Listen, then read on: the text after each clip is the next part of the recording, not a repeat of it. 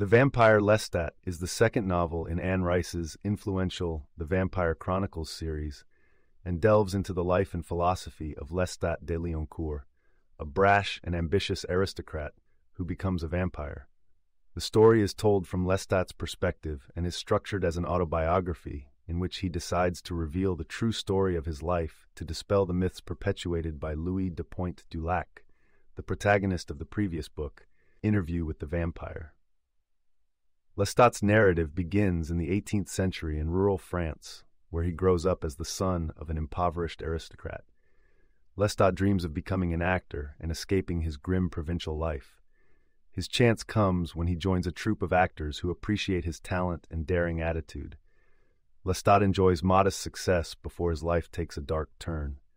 One night after a performance, Lestat encounters the vampire Magnus, who forcibly transforms him into a vampire and then kills himself, leaving Lestat on his own to figure out his new existence. Lestat struggles with his new vampiric nature and the loneliness it brings, but gradually learns to enjoy his supernatural abilities and the freedom he has to explore, free from human constraints. Lestat's love for his family, particularly his mother Gabrielle, prompts him to visit them. Ultimately, he turns his mother into a vampire to save her from dying of consumption. Together, Lestat and Gabrielle travel to Paris. Their search for other vampires leads them to the legendary coven of the Théâtre des Vampires, a group of vampires who pretend to be human actors portraying vampires. Lestat is both drawn to and repelled by this community and its archaic laws, and he is especially fascinated by the coven's leader, Armand. Armand is centuries old and becomes both a mentor and a philosophical foil to Lestat as he presents a view of vampirism that is steeped in guilt and suffering. Rejecting Armand's fatalistic perspective, Lestat continues to search for meaning and knowledge about his kind.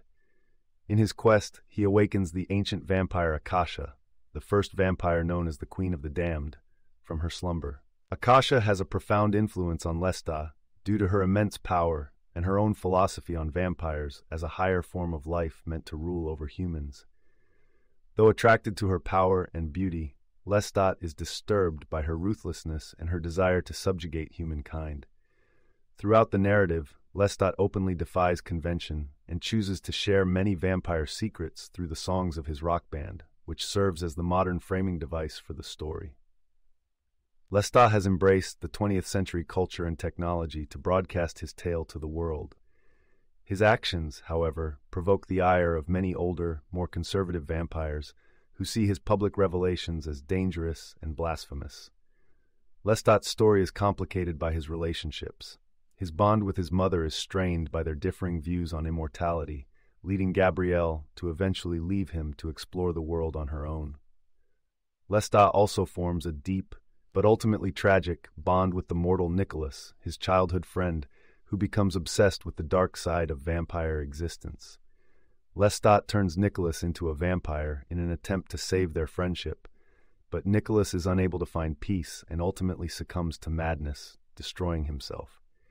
As the story continues, we learn about Lestat's creator, Amel, who is not a vampire but a spirit that became fused with Akasha when she was turned into a vampire by an evil spirit possessing the body of her dead husband, the King Enkil. This fusion gave birth to the curse of vampirism, propagating through the blood of anyone Akasha or her progeny drained and converted. Amel represents the source of power and the vampiric connection known as the Dark Gift, which allows vampires to communicate telepathically and share their strengths. Lestat confronts the challenges of isolation and the search for meaning in his eternal life, all the while reflecting on the complexities of morality, power, and the nature of evil. His love for humanity and his refusal to see himself as a purely evil creature prompts him to question and often reject the self loathing that Armand and many other vampires feel about their existence. He is instead exhilarated by the vast range of experiences that being both supernatural and immortal allows him to partake in. Through his story, Lestat grows from a reckless nobleman to a vampire with a greater understanding of his place in the world and the nature of the dark gift he has received. His tale encompasses passion, despair, rebellion, and above all, a vampire's eternal quest for self discovery. Lestat's comprehensive attitude towards the vampire mythos contrasts sharply with the melancholic and regretful tones set by Louis in Interview with the Vampire. The vampire Lestat sets the stage for greater conflict and exploration of vampiric society in the subsequent novels of The Vampire Chronicles.